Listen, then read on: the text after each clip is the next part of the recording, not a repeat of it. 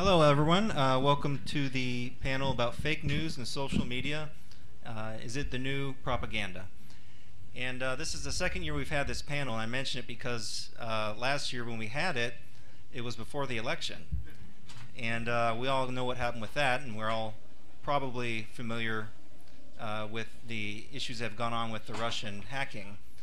Um, but that's just really one, one recent example of kind of what we're going to talk about today um, which is the emergence of sort of a reemergence of propaganda, the use of social media to influence uh, societies, public opinion, uh, and outright hacking to change what should be a democratic process. So, for those of you who don't know, um, the intelligence agencies have come forward and said that Russia has basically uh, hacked or attacked our election in multiple ways. And I just read the reread the uh, report that they produced, the summary, uh, the other day, and uh, it was a multi-pronged sort of attack, really, um, through stations such as RT with their biased coverage. Uh, who in here is familiar with RT? I used to watch RT actually. I used to watch RT, and I've watched Alex, Alex Jones extensively, uh, more out of a curiosity and just kind of like a in a way to study uh, the mentality of that kind of thing. And um, there's been a real emergence uh, from the alt-right. Uh, I don't want to restrict it to the alt-right, but um, from that kind of perspective, um, and it's bringing in a lot of Cold War type of propaganda, but it's it's new and it's different because now we have a lot of social media. Um, one of the findings that the intelligence agencies made was that the Russian government had hired bots uh, to basically uh, promote stories that are adverse to Hillary Clinton, and then uh, they abstained from releasing any information that harmed uh, Donald Trump. Um, also, another strategy, or another way they, they attacked the election was to um, uh, release information, essentially laundering it through WikiLeaks. Um, WikiLeaks, of course, claims to not know the sources of their uh, the sources of their source, I guess to put it, the identity of their sources. Uh, but nonetheless, the intelligence agencies have concluded that uh, with a strong probability that the information came from the Russian government or at the direction of Vladimir Putin. So um, with that, I'd just like to have the panelists introduce themselves and we'll get started. If any of you have any questions at any time, just feel free to raise your hand. Hi, everybody. My name is Amie Stepanovich. I am U.S. Policy Manager at Access Now, which is an international group working on the intersection of technology and human rights. Um, we got involved, well, we've been involved in um, issues of propaganda and censorship, which is what fake news touches upon for quite some time. Um, but this January, we actually put out a FAQ guide on quote unquote fake news. Um, because one of the things we wanted to demonstrate is that this is not a new issue by any means. It's been around um, basically as long as journalism has been around in the in the U.S. and longer. Um, it used to be called yellow journalism, where people would exaggerate things. Um, it has kind of evolved. I don't know if maybe, you know, around the time that people were getting online, you would see chain letters and things come in your inboxes, I imagine. Yeah, maybe. I'm seeing nods of stories that were just blatantly false. Um, I remember early 90s or late 90s when Snopes was around and everybody was like, why didn't you check that on Snopes? um, when it really emerged as kind of a powerhouse fact checker. Um, so this isn't anything revolutionary, um, what happened. Um, what's interesting more so is the response to the idea that these stories are getting shared more and more frequently. Because one of the things, I mean, there's a lot of things to talk about, but I think one of the more interesting things is what it ignores. Um, so, first of all, there's a spectrum of fake news. Um, and this will be the topic I introduce and then turn over. Um, it's not just a thing that is it fake news or is it not fake news. Um, there are the blatantly, patently created from thin air um, stories um, that are put online ostensibly what people have shown in order to um, generate ad revenue for the people running the websites. Most of the time, these don't have political motivations, they have monetary motivations, um, much like people have had since the beginning of time. Some of them have been run out of Macedonia is that right? Macedonia, I believe yeah. Macedonia. Um, they've been tracked back. NPR did a great segment tracing one of them to um, a house in Cal- uh, in California, a single guy doing it. It's kind of interesting. It's almost entirely a profit margin for these patently false stories. Then there are the like fact-based news stories that you would say have only facts, have no editorial content whatsoever. All of those facts are verifiable and verified, and they are patently just objective news. And so if you think of those as the two sides of the spectrum, there's a lot of stuff in the middle of that.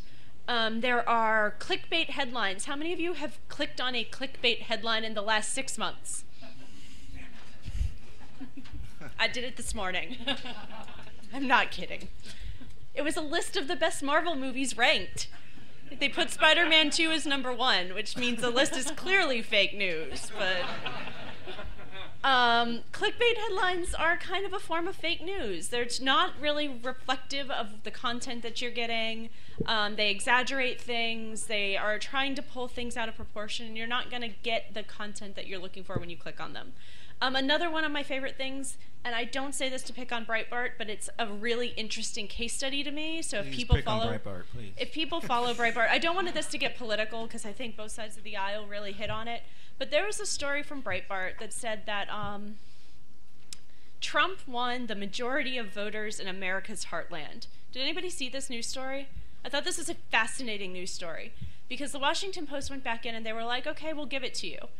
But how did you define that? And they actually were able to figure out how Breitbart was defining America's heartland. And it essentially included um, counties in Southern California and in Nevada and places. And I think what it came down to is every county Trump won, Breitbart was defining as America's heartland to say that they won the majority of, he won the majority of voters there, which is really, really interesting. They weren't saying anything in their world that was false. They were just redefining commonly understood terms to mean something that the average reader might not think that they meant. Um, the reason why this spectrum is so important is because when you start talking about regulatory approaches or statutory approaches to dealing with fake news, um, it's really easy to do like one side or the other, but you know, at this side, it's not going to do a lot because you're not getting a lot of the political stories that people are caring about right now. On this side, you're not going to regulate that, of course. How do you define that middle term in a legal way? It really starts to look like um, subjective, biased interpretations, which will get into censorship. And that's not what we want to legislate, I think, by any means. Um, and what we're seeing are a lot of proposals coming out of Congress, coming out um, of regulatory agencies that I think are really well intentioned and they're really trying to do the right thing. Um, but they're going to amount to censorship in the US, and then they're going to be picked up internationally um, and used as censorship internationally. And we're going to see the same things pop up in the Middle East, the same things pop up in Western Europe, Southeast Asia, where they tend to duplicate the things that are done in the United States. As an international organization, we see this time and time again, um, and all sorts of um, political speech are just going to get shut down in these other areas. Um, so we have real fear for how this can be used elsewhere once it's in place in the US, not to mention how it's going to be used in the US. Uh, hi, I'm Gennie Gebhart uh, from the Electronic Frontier Foundation, uh, where I focus primarily on consumer privacy and security. Uh, I'm also, particularly for the interests of this panel, a trained librarian. Um, I have a master's in library science and information science. Um, and this issue is very dear to my heart, both as someone who works on libraries and as someone who works on security. Um, so I approach this from two different angles. First, kind of the librarian in me um, says that this is not a technology issue. Like Amie said, this has ex existed long before any kind of technologies we're talking about. This is a media literacy or media readiness issue. Um, I say literacy with a question mark because I think more and more saying information literacy or media literacy can kind of be a slight at someone. If you tell someone like, "Hey, you're not media literate," that like could invoke a lot of shame or um, just kind of negative reactions that we don't want. I think all of us, it's it's a process, right? And as we've seen with kind of the fake news quote unquote phenomenon, um, and the number of people who clicked on clickbait this morning, including me, none of us are completely media literate. This is changing constantly, and we need to keep up. And I think particularly um, librarians, calling on my own profession, um, educators and other spaces need to keep up as this changes. So I think in a big way, um, it's a media literacy issue, both in both in terms of posting, sharing, and propagating this kind of information, as well as reading it and consuming it, and how you do that. Um, I think in a big way, just labeling something fake news and walking away is not going to be the best approach. I think we need some kind of transformative um, transformative strategy here to transform that kind of information and to to move towards something that's a little more genuine, something that encompasses that range of content between kind of the clickbait, market driven content, propaganda, um, and I think maybe the fantasy, right, of objective, fact based, completely 100% truthful news. Um, even just recognizing that there can be many truths at one time, and how do we deal with that from a legislative perspective, from someone who advocates to tech companies um, to take some responsibility and in various educational capacities. So that's the librarian side. Um, on, on the security side, um, something that I see talked about less, but that really worries me. Um, is that I think even when we talk about you know Russian hacking, we talk a lot about hacking in this room, um, and threats and compromises and vulnerabilities. The number one most dangerous thing for most people in this room, and even for high-profile targets, is links that pretend to be something they're not. That is your number one security threat. Often we talk about that in terms of phishing, we talk about that in terms of malware. Um, I would argue that fake news, that's a great way to describe it. It's a link, it's a headline that is pretending to be something it's not. And often, um, the overlap, the Venn diagram between whatever we're calling fake news and sites that would like to track you or take advantage of you, there's a pretty big overlap there. Um, there are plenty of reputable news sites that would also like to track you, um, so we're not letting anyone off the hook. Um, I mean, install Privacy Badger, visit The Economist, and let me know what you find. Um, but the overlap there of various ways on the internet to pretend to be something that you're not to get the user to click on it, that applies not only for phishing and malware, that applies for tracking, um, that applies for any kind of data brokering of your information that you might not want to share, and that also applies to trying to influence your mind and your actions and your opinions. Um, so I think that fake news, while I think security is not the top line issue there, um, it overlaps so much with tracking and privacy issues online. Um, so I'll be happy to talk about that more later turn over to you. Thanks. Uh, hi, my name is Will Nevin. I am a JD PhD. I teach at the University of Alabama. I teach several journalism courses. I also work for Advance Media, so I'm an educator and a practitioner. Um, I think the interesting thing for me in terms of fake news, and I just use air quotes under the table, so it's real helpful. Um, but uh, in asking some of my students, uh, my introduction to journalism courses, what is news? And then you know we talked about that, and then eventually we sort of got into the discussion of what is fake news. Well, fake news is blah blah blah blah blah. And as well, I had one student that said, "Well, I think it it can be news, right?" Uh, and then I said, "Well, if fake news is news, then the game's over. Let's quit and go home." Um, I think how we define fake news is very important because right now it is a term that I think at one time had a commonly understood definition, and now it is weaponized. Um, fake news is now anything you disagree with, and we uh, we certainly can't continue to live in that world. So uh, I'm looking forward to an interesting discussion.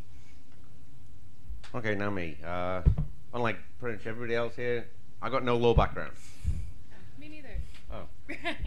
All right, I was wrong. All right. Um, I, for the last uh, 10 and a bit years, I've worked for torrentfreak.com, a technology news site based in the Netherlands, uh, focusing on peer-to-peer systems. Uh, I've also written for a bunch of other news sites, including TechDirt. Uh, and uh, I've also spent five years working as either the chairman or deputy chairman of uh, the US Pirate Party, and another year as the International Pirate Party coordinator. Um, I've been the subject of fake news stories, and I've had to, and the organisations I've worked with have also been the subject of uh, fake news ac accusations. Um, so I've got some experience coming from the side of being the victim and being the target. So uh, I've got, if anyone wants to know more about that sort of thing and how to deal with that sort of thing, is is where I where I certainly come from there and uh, look at that less in a minute. okay, um, a recent poll from Pew says that about 62% of Americans get their news from social media. Um, another statistic uh, is that the top 20 fake news stories about the 2016 presidential election received more engagement on Facebook than the top 20 stories from the major news outlets. So, what is the role? I would like to ask the panel. What is the role of private companies to police this type of behavior. Uh, Facebook has attempted, and they've removed some editors for selecting stories on their trending Uh, I'm not familiar with Facebook as well as I should be, uh, but I, I, guess they have a trending section.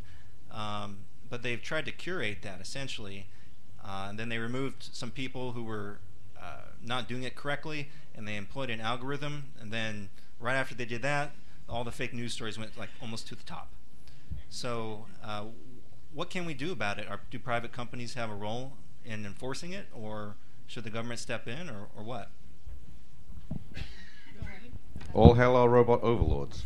uh, I can I can jump in there. Um, the first point I want to make is that I don't know if people are familiar with. Yeah, Facebook has a trending news section. Um, they used to employ live, human, living, breathing curators like journalists, librarians, people who do this for a living.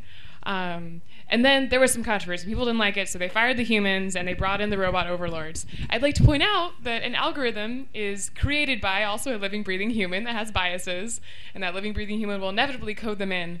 Um, so I think it was seen or maybe hoped to be an improvement. Like, hey, instead of these bias riddled humans, we're going to have this objective, shiny, chrome algorithm. Like, that just, that's a fallacy. And I think both both are problematic in different ways and i think maybe right now at this moment in time, it's much easier maybe to defend publicly and popularly the unbiased nature of an algorithm, but time and time again, it just it doesn't it doesn't hold up. Um, so yes, that was the thing that Facebook did. Um, I think that the hard part, for me at least, grappling with this as someone who advocates to tech companies on these issues, um, Facebook has defended themselves as a tech company. Like, hey, we're just a tech company. We're not a media company. We're not journalists. We're not curators. Um, and I agree, they are not journalists or curators. But the second they went from a fire hose live time news um, newsfeed to a curated algorithm driven newsfeed, they became a media company, whether they like it or not. Um, I think the hard thing is to try to prescribe to Facebook um, what precisely they should do. Um, I say this often on panels, but I mean, if we had an answer, we could all just go home right now. Um, I think that their immediate reaction to fake news, kind of right after the election, they took some steps. Um, people may have seen in their news feeds. Um, sometimes a banner showed up above an article that said like, "This is contested. Click here to learn more." They had some links out to Snopes. Um, but even that, I interpret at least, and others in the field, to be kind of Facebook solving the problem of not being seen to be doing anything. So they did something. Um, but particularly the banner that says like, "Hey, this article is contested. Click here to learn more." Um, that can embolden people. And in fact, we have scienced this. There are papers. It does embolden people. Say, "Hey, who are you to tell me? Are you telling me I'm stupid?" And then really to double down, perhaps, on the view that they have um, which may indeed, according to the banner, be contested um, or be problematic or be propaganda. So trying to kind of wrap people over the knuckles for clicking on something or before they click on something, um, that often does not achieve an educational aim. Um, it, it, it, it, backfires in a huge way. Um, yeah, and I guess I'll let people talk more before I even dare to say what Facebook should do. But I think because they are now a curating media company, they do have responsibility. The answer is yes, there for sure. So I'm going to disagree a little bit. Um, because, so fake news is just the most recent excuse being used by governments to try to get Facebook to start taking down content. Um, it has mostly come up the last five years in a world um, of countering violent extremism. Do you guys have you heard of that term? Yeah, maybe a little bit. Mm-hmm. There's some there's some nods. There's I, I, think there's a guy here who knows a lot about it. uh, and and hate speech. So in in the CVE, countering violent extremism and hate speech world, um, a lot of governments, many of them in Europe, have been pushing companies to start taking down more and more content that they deem objectionable.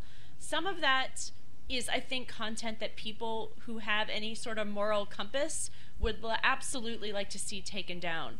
Um, some of it actually is material that should be explored and researched, and some of it is actually being posted by researchers and academics um, to do their jobs. Um, it's not being used as um, by terrorist networks to recruit necessarily, but it's being kind of lumped in. It's a very, very subjective world. Um, I, for one, am not comfortable with Facebook trying to make judgment calls on what content I can and cannot post um, by calling it either hate speech or CVE content or violent extremist content or fake news. To be to be clear, I was not advocating for taking stuff down. There's a difference between curating and censorship, and I think that's a line we shouldn't cross. That, that said, I, I think think, Facebook. Yeah, yeah. I think Facebook is doing some really interesting things with Yeah. deprioritizing content that is clearly fake, so it's not showing up at the top of news feeds. So it's still there, it's still presentable, you can still share it, um, but it's not going to be the first thing you see when you log in. Um, I think it's quite interesting. They are trying to figure out how to have that flagged as fake news. Um, and from what I understand, you can flag something as fake. Um, anybody can flag anything as fake now. The number of posts that get flagged as fake is quite high. The number of posts that actually kind of leave the pack and like exponentially receive that flag, um, there are very few of them, which is, I think is really fascinating. Um, Facebook released a really fascinating technical paper um, that's probably just about at my level of what I understand from a technical perspective. So it might be above what some people understand, it might be below what some people understand. Um, but it, it kind of rides the medium level of tech understanding to be able to figure it out about what they're doing on this. Um, and I am I'm not thinking that they've done everything they can do, but I'm fairly comfortable with the more hands-off approach they've taken of not taking down content, trying to let researchers and people share, not kind of bowing down to governments. Now, that said, I'm really uncomfortable with their interactions with Europe. And the fact that Europe is is on pressure of regulation really pushing them in a way that is getting them to take down more content in these other spaces.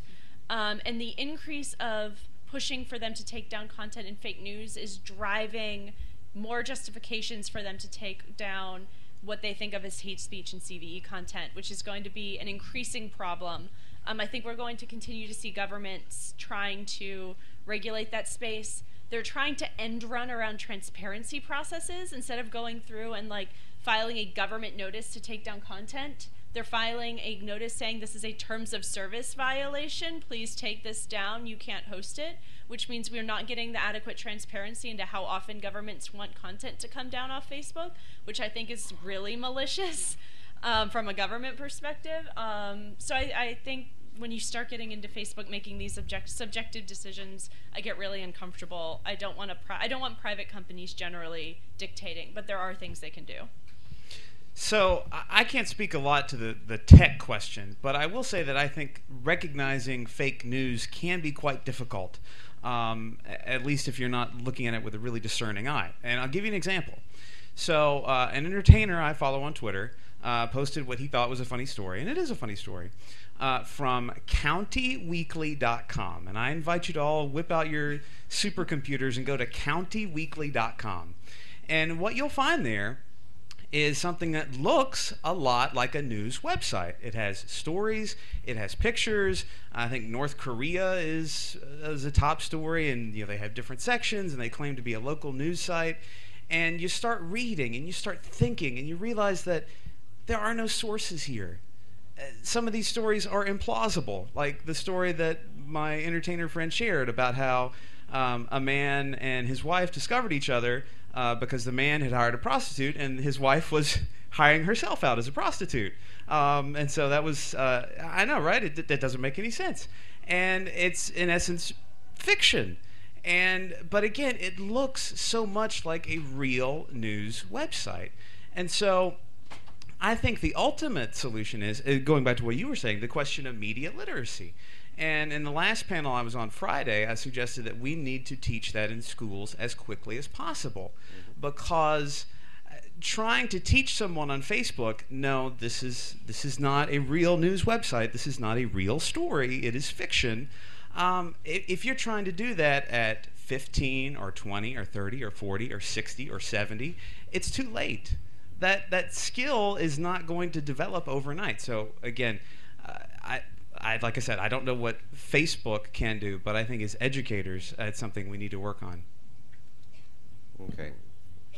Fake news is essentially hacking. We all know that. If you've been to Hacking 101, you've heard uh, Johnny X talk about social engineering. That's what fake news is. It's socially engineering somebody to manipulate them in a way to behave the way that's desired. So it's going to be a really hard way to undo what is basic human nature. I think so. I, I, I worry that fake news is, is always been here. We, we said that Friday. It's always going to be here. So we're not going to get rid of it. We just got to learn to recognize it, as you say. So what we can do is perhaps deal with our own how to put it um, egocentric natures. I mean, Dunning Kruger effect is a, is a perfect example. A lot of us think we know more about something than we do, and that helps us to be engineered. So perhaps we should all stop thinking we know so much. As a society, I don't mean individually and that we're all conceited, uh, but that if we all had a little more humility and admit that we don't know things and be a little more critical in our thinking and not assume that everything that matches what we already thought, yep, that must be right because I thought that. That, I think, is perhaps the best thing, way to deal with it of all, but it will require a huge paradigm shift of basically what our society has become. So, until that happens, I don't think fake news will be dealt with in any way by Facebook, by Twitter, by Google, by any technological conglomerate, any entity, any government, because it's going to require that fundamental human emotional shift to, to be solved. Yeah. Also, um, of what you're saying, add briefly. Um, I'm a firm believer in the fact that we can't tech ourselves out of a problem we didn't tech ourselves into.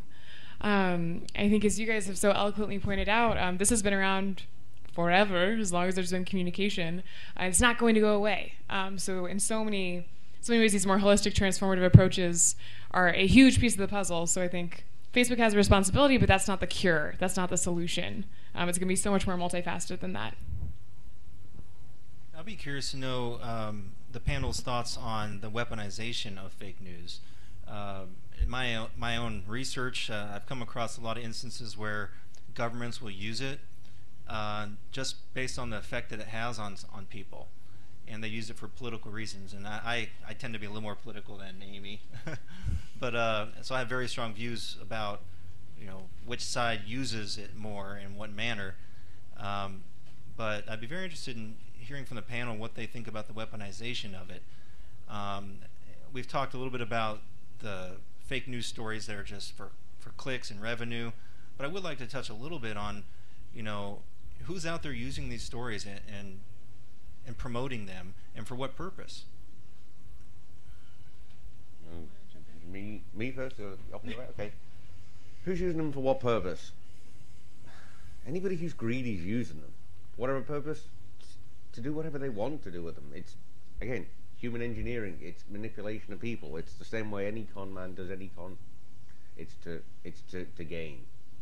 Um, I've been as I've been the target at Torrent Freak a few years back. We we published um, about the, net neutrality battle. As many many of you heard about the net neutrality battle. Uh, what sparked the huge swings between it was uh, 10 years ago, uh, ICAUSE and then the EFF and Associated Press verified that Comcast was forging uh, RST packets to, to people using BitTorrent and basically telling each side that the other had dropped the connection. When we published it, they'd said, no, that's fake news. That's fake news. They're lying. They're making it up. It's a lie. And then we got a we found a memo that said yeah, we're doing this, but don't tell anybody, tell them it's fake news, that they're just making it up. And that, it took a while until that memo came out and that they were exposed. They'd been propping themselves up with fake news to, to hide the greater lie. And then things went bad for them because in this instance, someone paid attention, and it was only through the likes of the EFF and the Associated Press that got the FCC's attention mm. into it, and now we've got the comments and the latest consultation, and that's even more fake news. And part of the reason I seem so logy and a bit groggy is that before con before con I spent uh, a, uh, basically most of a day writing a response comment on the closing day, the 30th, uh, dealing with as many of those fake comments and which were effectively fake news to Chairman Pai that I could and I was I must have bashed out I don't know how many pages, but they were all fake news. There was, uh, collectively, the ones I responded to were something like 1.3 million comments, all fake, all many with forged uh, names and addresses put to them, including some people I knew personally. I, I live in a town of 10,000, and there are over a thousand people who submitted comments. I don't think one in ten people in my rural, nowhere town in, in middle Georgia submitted comments to the FCC saying, yes, we want you to get rid of Title II and bring back a free and open internet with light touch regulation. most of the most of the people where I live, if you talk about light touch, you ain't talking about regulation. so it, it's that kind of fake news that, that, that is in places where you wouldn't actually expect. You think too much about it, it. People often think you know Facebook and stuff, but it's also in the interactions in government. Um, another fake news story that always gets me is I think it was Senator Orrin Hatch about 18 months ago said, look, we know climate change is, is, is a hoax because look, here's a snowball in my hand. It snowed yesterday or today. Using again fake news to push a push a a, a, a thing, a, an agenda to push a con. So An that's agenda. who I think is using it and, and how and why. I just I want to. I always feel some sort of caution when people start using words like war and weaponization and army to describe things that are not war or weapons or armies. Not that it's wrong, and in fact, we published a blog post on troll armies, and I think that's the term that people use for it. Um, but I think it pushes us in a term where we need a military response to things. Um, and I think normally the best response to speech is speech um, and not military. Um, misinformation is a problem. Um, I, ju- I, I caution with the the ideas of putting it into this military war-driven context because people are in war, people are dying, people are getting shot every single day. Um, it's not happening on the internet. There are other issues that are real issues happening on the internet, and we should deal with them as issues happening on the internet. Um, yeah, two things come to mind with a question about, yeah, the weaponizing, again, quote unquote, of fake news. Um, yeah, I agree in so much of InfoSec and in terms I mean, even like we talk about threat models and adversaries. It's like we could also talk about risk assessments and people you're worried about. Um, so I absolutely agree that choosing our terms carefully is really important here, especially as we talk about solutions and responses. Um, another term that librarian here I care a lot about misinformation versus disinformation. They are two hugely, hugely different things. Misinformation is a mistake. Um, it's something that would require a correction or a redaction. Um, misinformation, it happens all the time. We make mistakes. Um, we get things wrong. We might exaggerate. Exaggeration might be misinformation. Disinformation is deceitful. Disinformation is when we get into social engineering and people trying to manipulate you into doing something. You know, taking your attention, taking your money, taking your action or vote or something that they want. Um, and so the second thing there that I thought of, in, in addition to mis versus disinformation, which you could honestly spend your whole life studying. I know some people who do. Um, the other thing is that fake news itself, when we ask kind of, you know, who is using it or utilizing it and why, um, I realize that the answer to that question is so broad because fake news has become, I think, as we've all alluded to, it's kind of become a tofu term, just kind of like taking on the flavor of whatever you choose to put around it. Um, which is where these discussions just get bigger and bigger and bigger until you know we need media literacy armies or something like that. Um, I think in these conversations it's also always so important um, to answer that question first of who is using this and why, and then we can use maybe more precise terms that you know this is propaganda. That is not new. That's not sexy and sensational like fake news might be. You know, this is clickbait. This is a troll farm. Um, and when we can drill down like that, I think then it goes from kind of this big, more hand waving discussion into something much more focused on what is the problem and what are the reasonable responses that we can muster. I think a good uh, simple thing to keep in mind is that fake news requires intent. There is some intent somewhere, whereas misinformation is a simple or can be a simple mistake that is uh, theoretically corrected with a retraction or a correction. Such as when I, I mistakenly said earlier that everybody else was had a law background. that was a misinformation.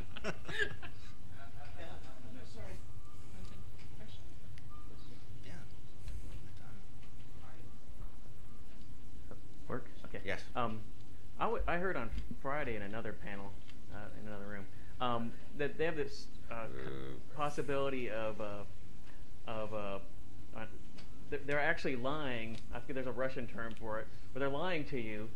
They know you know they're lying, and, and they still keep lying to you. Realpolitik? No, no, you know, beyond. They actually think you. They think trying to convince you. They aren't even trying to convince you. What, what, how is that affecting some of these things? Because I, I literally can't understand some of these crazy stories, but I think that's part of the game, right? Is it to wipe out the other, maybe blot other things out, or change your opinions? What's your feelings, We've especially when always you're been a at war with library science person? um, but you know, this idea of just basic. Why, why do they do? Uh, this is a Russian term, so it must have been Russian propaganda. What, what are the effects of this, or why are people doing that? How, how could that be effective? I don't, nobody have any. Let So, me see if I can look up a term. I, I don't know. So uh, Why let's think about some of the popular. so fake that they can't. No one would possibly ever believe them. How how would how could that be effective? In Yeah, well, let's think of some of the like the popular Twitter feeds in the age of resistance. Um, Louise Mensch, right? Um, yeah. Uh, she basically posts political fan fiction, um, talking about Supreme Court marshals and indictments and uh, impeachments, and, and it, it's it's it's nonsense. Um, but she has built a personal brand of nonsense and her political fan fiction, and I think I think that that speaks to a lot of it as far as individuals online sharing those sorts of stories. It is I am building a reputation for nonsense, and at the end of the day. Uh, I suppose there's mon- monetization at the end of it. I, I, I can't think of why else she particularly does what she does. Uh, I can also add. I, I don't know about the specific example um, you're thinking of, but just the, indeed, the idea of kind of like farcical absurdity in the public sphere of like no one and you know I don't believe this and yet you keep saying it.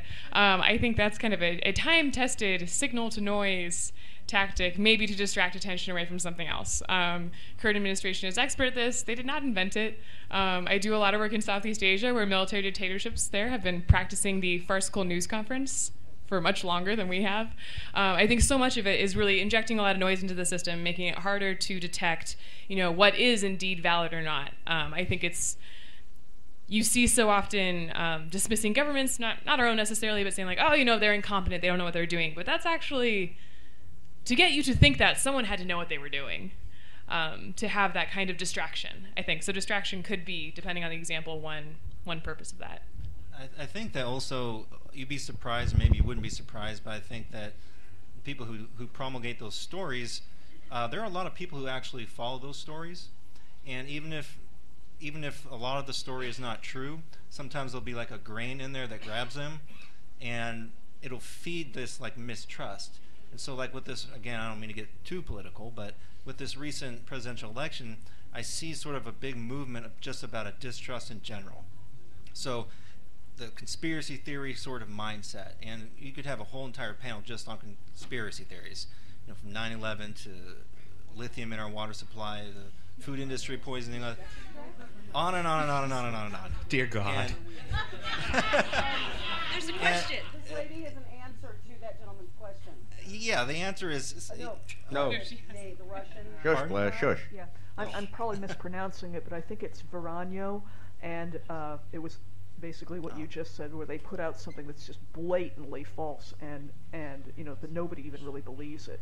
But uh, I think we may have been to the same panel, but the the aim of this is it's not an immediate effect. It's something what the what they're trying to do is erase the truth over time because knowledge is passed down imperfectly from one generation to the next, kind of like that telephone game where you know something gets across the room and it's changed a little bit. But if somebody's deliberately trying to break that signal and put something in there that wasn't there before, then you you know after a while you can convince people that something happened that never happened or that something didn't happen when it did happen. what was the uh, term again? Could you say it, please? Uh, I, I'm probably pr- mispronouncing it, but I think it's Verano.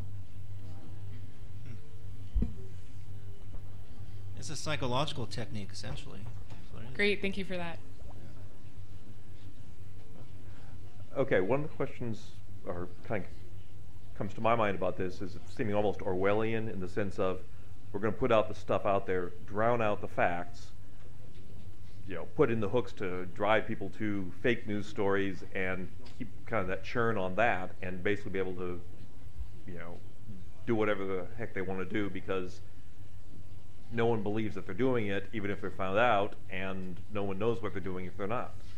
And that kind of seems like a across the board, all of the you know governmental agencies and the you know the tech companies and all that are you know seem to be driving towards that. It's you know kind of a disheartening uh, thought. You, you guys can you know maybe cheer me up and disprove some of that.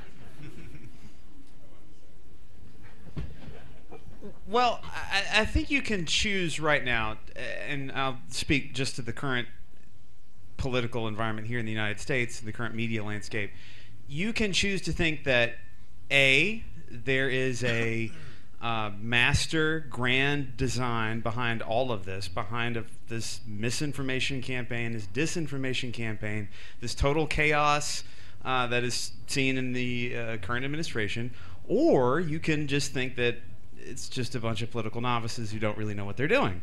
Uh, so one says it's a grand, dark conspiracy, which implies that they have some control. Feel like control, maybe that's a nice way to look at it, or that this is just a passing thing that uh, our media and our government will eventually return to a stable state. Uh, so I don't really know which one I, I believe, but I, I tend not to subscribe to the 4D chess uh, mindset in that in that I, I don't really think that a lot of these moves are made um, to sort of sow this idea of you know we can't really understand what a fact is anymore. Uh, I think it's sh- political decisions made for short-term gains, uh, and that's that's t- the way I tend to look at it. But um, um, I don't know which one of those is more hopeful. hey, uh, I have a couple questions, one aimed to William and one uh, to Amie. And the first one is that, um, so as we're growing up, we know that the news used to be presented from a third person's perspective with a, a strong effort to not uh, reflect one's opinion while news is being presented. So with that as a background, the question to William is that, um, how much conscious effort do you think the journalistic society put to identify and differentiate between news, information, and opinion, and and how much of it is really invested in training individuals, not just not just in training, but also in, in doing their practice to stick to that opinion. And to to you, Amie, is that though I totally agree that we cannot put a we cannot identify the line differentiating when making laws and legislations on this aspect, we should be able to enforce laws and uh, legislations to make these news entities, whatever they be, they may be, to mark which ones is news or which ones is the opinion and which ones are uh, just the information that they present. That, that should be possible, right? That's not that hard. I'll leave you first. Okay. Um, what is news and what what is news and what is opinion? I, I think that Gennie said it like everything is opinion.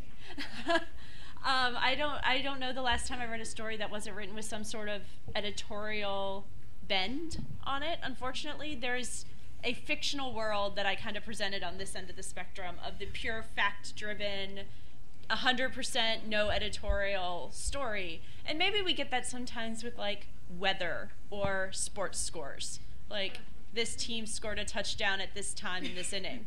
I don't. Maybe there is no opinion in that. Maybe there is. Yeah, I know. My team was the team that got lo- that lost, so I feel I feel this very dearly. Um, but everything I think is driven by opinion. Um, I do think that journalists, to the extent that there are journalists who have ethics rules, do try to identify in stories where there is fact and when there is opinion. Um, any rules that require them to do that, I don't know what those would possibly look like or how they'd be enforced. You would get the same people who are already trying to do the right thing and trying to like lay the facts and the opinions out, doing that still, and the people who aren't are just not going to comply with that anyway. Um, and so there, I think there's a problem of enforcement.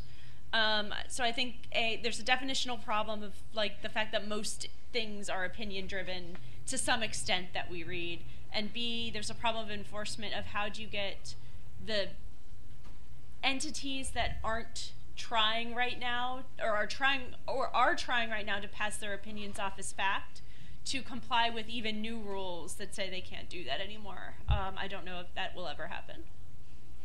Uh, and I'll, I'll answer your question for me. I think there are strong ethical norms in traditional mainstream journalism that help um, separate news and opinion. And it's interesting that you bring up the topic of information. Um, I, I talk to my students about information uh, being filtered into news. And the process that we create journalism, it, we bring our inherent bias to that. Um, and I tell my students, there's sure there's no, nothing we know that is totally unbiased journalism, but we can act responsibly as journalists. We can act ethically with sources. We can act ec- ethically with editing. And I think there are a lot of good journalists doing good work out there. Um, but again, it's incumbent on the readers to go to sources that can be trusted, and I think that's the problem. Uh, first off, I love that idiom tofu term. I'm gonna have to use that later. that is fantastic. Uh, second, you mentioned uh, FCC comments as a source of fake news earlier, and I'm aware of uh, the the myriad of counterfeit comments and the fake addresses that came through with that. But I never really thought about that as sort of a fake news paradigm. Can you mention some other common places that we encounter where there might be fake news, but we might not necessarily see it that way? Oh, uh, maybe it'd have to be Friday, but uh, no. Uh, um, there's a there's a guy probably most of us know called Ken White, who's a famous First Amendment journalist. He runs a site called Popehat, and there's another couple of people who write on it too, and they have a Twitter feed and it's called uh, the, the DPRK News Service. And you will not believe how many reputable news agencies fall for the tweets they put on it and repeat the things as actual uh, pronunciations from the DPRK. Um, and that's where sometimes we get fake news. There was also a, I seem to vaguely recall in this weird mishmash haze of, of, of pre-con prep that I saw, I think a New York Times article this la- last week about how a story can become uh, from a fake thing to a real thing using quotes and, and switching from various media to media to media. So there was something about a, a, a jet passing over a Navy ship, and it turned into, in one version, it turned into something else, and then a, a fake Navy, a, a, quote from an admiral was added to it from a different format, and then added more. It can be in, in like jigsaw so fake news can come you from several several different places at once that seem interconnected until it actually suddenly mashes together to form, you know, a fake news block. So there is no can always be you know, you know you get an individual thing, and then all of a sudden it weaves into this one perfect um, thing of, and that.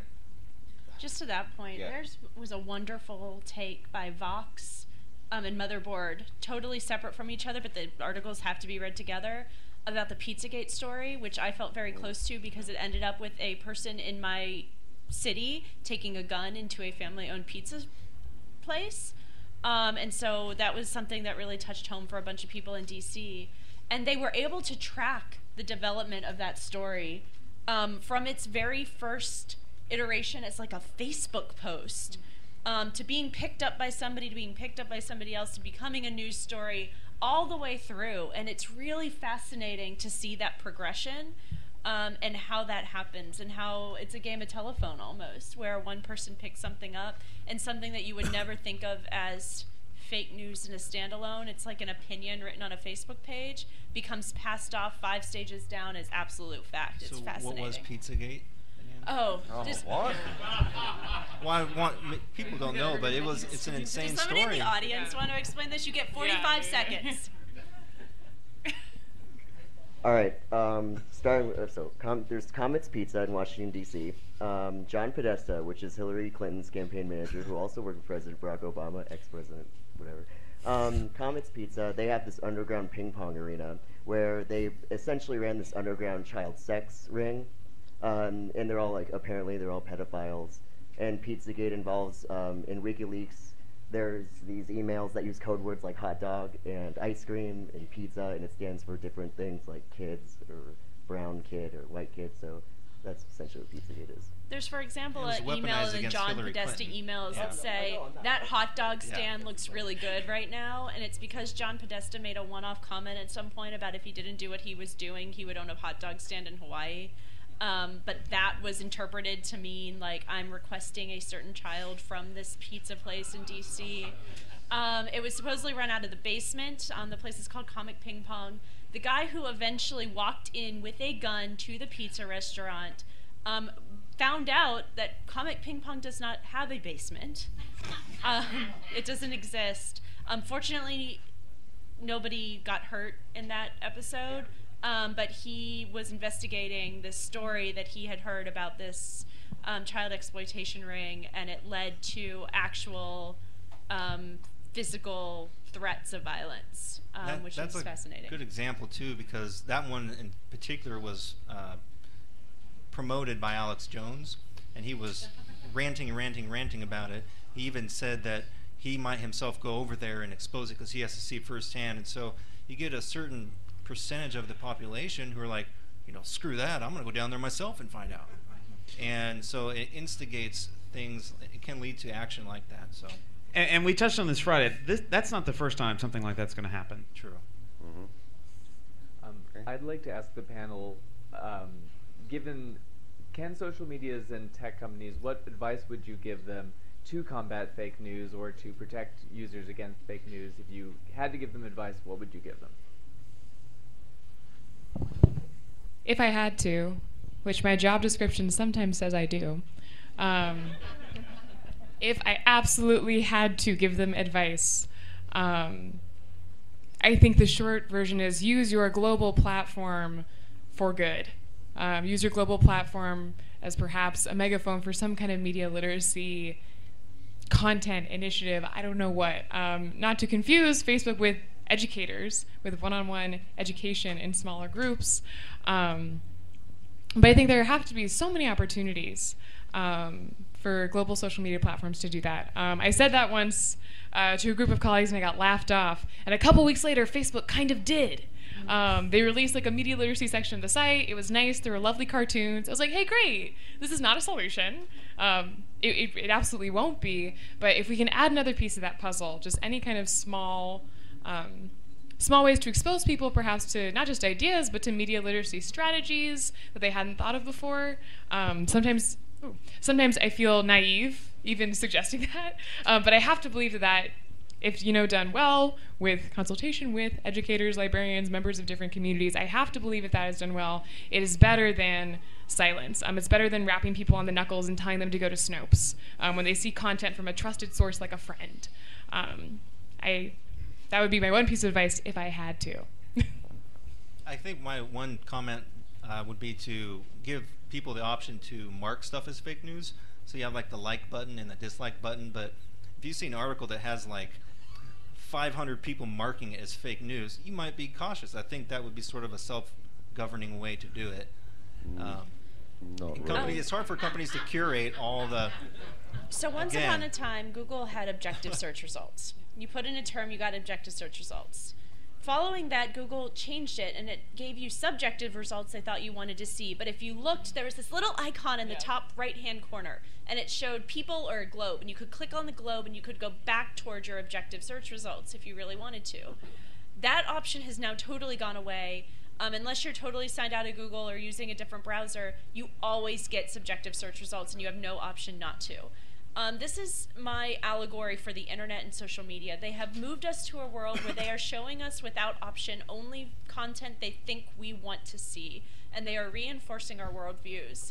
And my recommendation would be for social media to put a lot more effort into challenging our world worldviews um, and encouraging less toxic interactions of people with one another um, in disagreements. You should be able to disagree with people online. And to that end, I have actually personally started promoting the content of friends in my social media feeds who I really disagree with um, to try to at least see what they're posting and engaging in more productive conversations. It is my in my personal life one little way of contributing to this and i think that there should be studies going into that There are other search engines besides Google too, so I would encourage people to try the alternatives out there. DuckDuckGo. Use DuckDuckGo, DuckDuckGo. yes. Yeah. So on one end of the spectrum, you have Alex Jones, who says wildly crazy things that are th- th- there's no way there's that they're true. Then on the other end of the spectrum, you have in the last, we'll say, two years, the our current commander in chief has said these outrageous claims, but then had talking heads go on cable news shows to basically explain away, oh, he really meant this believable thing. So, first, do you believe that there has been a blurring of the line between it's not true and uh, he didn't really mean that? and how dangerous do you believe that blurring of the line is? I think there are a lot of dangerous things coming out of the white house right now and i'm not afraid to say it I think one of them is the fact political, that. I have heard people vehemently defend Trump's statement saying, not only his people, normal people saying, we don't expect him to actually mean what he says. We know what he means. We know what he actually is saying, even if it's factually untrue. I do think that's dangerous. I think that we are in a dangerous on a dangerous path as a country. I think that what is going on right now is making this a more dangerous country to live in, and I have real fears for what it means in the future. Um, one thing that I became a little bit concerned about in the last election cycle was people's insatiable, the developing of people's insatiable appetite for news, and I'm a, I've become a little bit concerned about what happens when the political climate normalizes, and when we go back to business as normal, normal boring politics that doesn't get reported on every single day by every single news outlet from every single angle, 24 hours a day. Like, are we going to start to see these companies that have built their revenue model around getting people to click on their links? When the news starts to dry up, what starts to happen to the news climate then?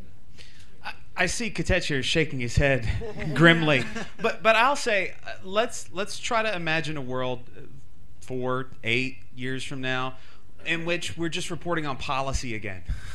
I, I like your optimism, uh, but uh, let's imagine a big you know healthcare bill, and and the they're just reporting on policy, not the, the incompetent machinations of the those who want to change the policy. They're just reporting on the substance. Now, the reporting is going to be sensationalized. It's going to be devoted to whatever incremental news there is of the day. But that's what we're going to see more of, I think. Um, instead of, it seems like now 15 different huge things are happening all at once. When that quiets down, when you have a more traditional administration in office, I think, I think it'll get a little bit back to normal. But you know, you might see some changes. Trying to think positive here.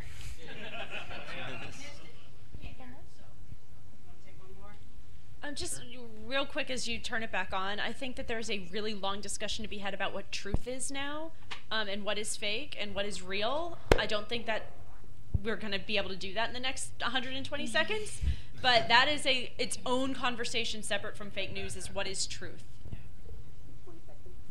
Oh, I've got 20 Go, seconds. go, go. Oh, okay. Um, my question is: Is there any way to make like you know the factual story, like you know every story that, get, that gets released gets sensationalized in some way? Is there any way to make the facts sexy again? Like you know, it's like um, what I'm thinking of is the Facebook bot, like you know, bot scandal. Everyone believes that the bots were shut down because they were developing their own language when they just weren't following their programming. Um, but it's really sexy to like click on a link um, and inspire fear about like you know suddenly the robots like you know are acting outside human control. Always how do you make how do you, how do you, how do, how do, how do you make how do you make the real how do you make the real story sexy again so that people actually click on it, actually learn, and they're not I- I- driven by fear or Uh, there's, a, there's, a, there's a line from, from Pratchett, I love it. A lie can be around the world before the truth has got its boots on. A lie always appeals to somebody's vanities, their, their things. The truth is uncomfortable, and to most people, uncomfortable, uncomfortability is not something they want. So, Yeah, it's not going to be possible, really. I'll add, um, yeah, I like that we're wrapping up with questions about truth and facts, right? Because I think there's a very strong argument that they do not exist. They are fantasies. Um, the aims, you know, in journalism, in librarianship, in the work that we do in advocacy, the ethical aim is for this this bias and this objectivity. Um, but I think the ethical work is in recognizing that those don't exist. They are things we aim for, and like you said, we can be responsible in our pursuit of those goals. Um, but I think part of the conversation of you know what is truth when we ask like can we market maybe or can we write about facts in such a way that they become popular that they drive the agenda. Um, i think one of the ways to do that is to recognize that there is no one version of truth that we need to regulate towards. Um, i think that is the orwellian future that i fear um, that there is one version of the true story and we are going to stick with that one because it is objective and it is fact based um, i think it's more true that there's a diversity of truths and the challenge is really in finding a conversation among those um, rather than an echo chamber. So i mean i love Amie's idea um, that facebook could scale up of instead of sharing one thing let's share two that share opposing views and see them in conversation um, so maybe I'm giving an even more boring answer, right, to your question that the truth lies in conversation. But I think that is the much the harder, right, and more uncomfortable reality to to work towards in some way. I, was going to add. Go ahead. add real quick. Um, I like the idea of interviewing the big head honchos of all these news organizations. So maybe if Fox News would interview some of the M- MSNBC people, MSNBC people would interview them. I know Megyn Kelly had Alex Jones on. You know, he, he is the leader of, of his station. So I think you know you know more speech, like Amie mentions. You know, giving even though we disagree with them, we can demonize them, giving them a chance uh, to come on and uh, make sure the interview is fair, uh, but making it in the public. I think that might be one strategy to uh, uh, let other people ultimately decide the truth for. I would love to get back to where we don't expect the news to be sexy. um, where we are willing to read something because it's important and it matters, and we don't have to jazz it up with a bunch of like hyperbole that is making it hard to figure out what is real.